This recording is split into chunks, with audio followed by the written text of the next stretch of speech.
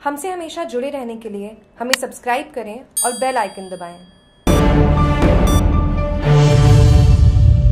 व्यवहार परिवर्तन अभियान के तहत गंदगी मुक्त भारत मुहिम का हुआ आगाज़ ग्रामीण विकास एवं पंचायती राज विभाग स्वच्छ भारत मिशन के आदेश अनुसार 8 अगस्त से 15 अगस्त तक एक सप्ताह व्यवहार परिवर्तन अभियान गंदगी मुक्त भारत मनाया जा रहा है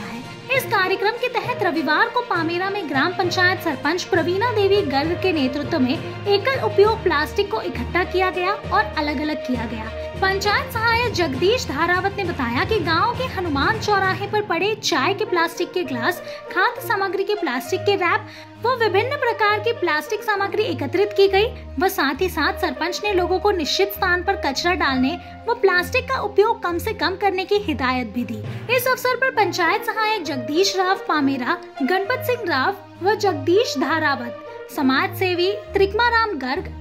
पंच वीराराम देवासी, लक्ष्मण माली, भीमाराम लोहार, रावताराम मेघवाल आदि उपस्थित थे। जागरूक टीवी के लिए रेवदा से विक्रम कुमार की रिपोर्ट।